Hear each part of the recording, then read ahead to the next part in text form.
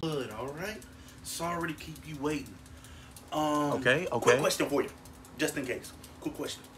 Um. Now, did you plan on having a cosigner? Look, Credit Karma said my credit was 18. Oh, That's why I didn't well, think I, some needed good, a cosigner. And I got some bad news.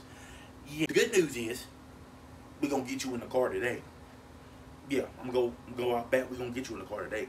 Bad news is might not be what you want. Yeah, and your credit, and um, it says your credit is under 600. Yeah, yeah, under 600. High fives to be exact. But what I can do for you, uh, you wanted a 2021 Hellcat. You don't have a cosigner. no. Credit Karma No said. Credit Karma fucking lied to you. I go out back.